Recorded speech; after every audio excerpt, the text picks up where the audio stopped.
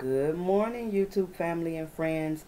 Welcome in any newbies that clicked on this video. Lynn here with Lynn and Things. And this morning I wanted to bring a quick breakfast. So lately I really have been on the overnight oats. I really like that. Me and my daughters love it. I just love how soft and creamy and delicious it is the next day. So I got this bright idea to try to do it with cream of wheat. so last night I put some cream of wheat, milk, cinnamon, and brown sugar. And I just wanted to see if it would kind of plump up like the oats do. I see it didn't. But we know it's still going to cook in the microwave. So this is part of my breakfast this morning. So I'm going to put it in the microwave and see if it comes out like cream of wheat. Give me one sec. Okay guys, so I went ahead, I put the cream of wheat in the microwave, cooked it up, and it came out, show you, like cream of wheat does. Nice, smooth, velvety, creamy. I grew up on cream of wheat. I really, really love it. But it was a fail thinking that it would be like the rolled oats or the uh, overnight oats where it plumps up. But you know, oatmeal does that. It, it plumps up.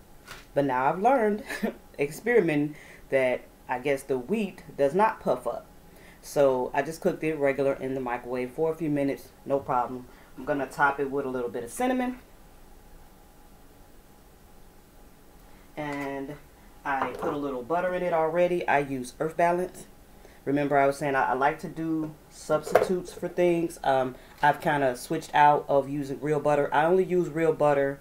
Uh, depends on what I'm making. But 90% of the time I'm using uh, plant-based butter. So I love Earth Balance, and I love the Country Crock plant-based butters.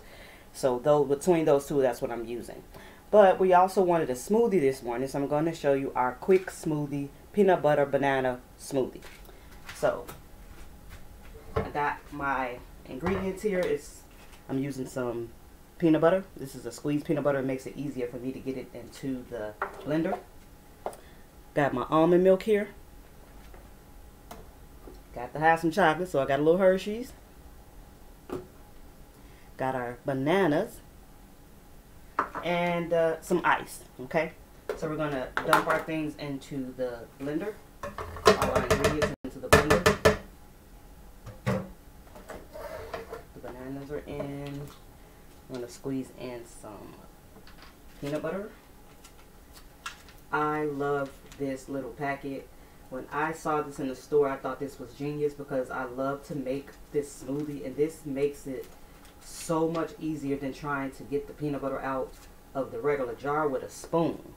This is so convenient. I, I really like this packet. So if you make smoothies with peanut butter and you see these, might be a good idea to pick these up. Then I'm going to pour in uh, some Hershey's. It's going to be time for me to get some more Hershey's. I feel like this one is ending on me.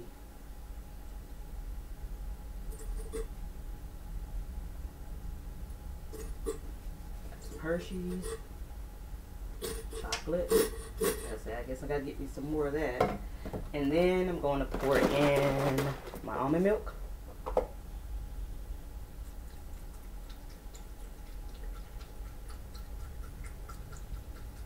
And then we're just going to put in a couple of cubes of ice.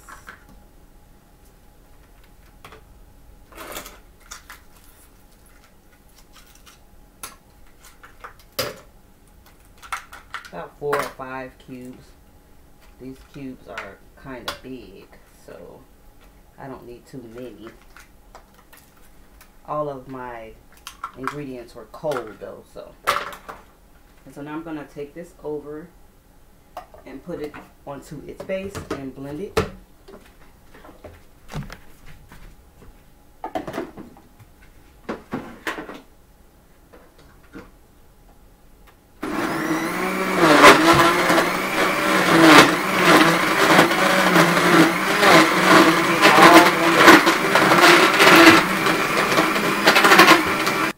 Okay guys, got my drink all blended up. I'm going to pour it into our glasses.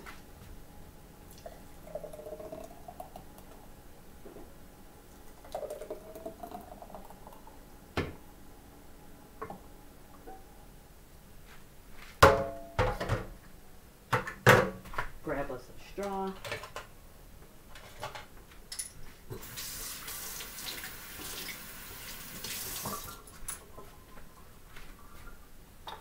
And there you have it. Our chocolate banana almond milk smoothie. I love this because you're going to get a lot of protein from the peanut butter and the almond milk.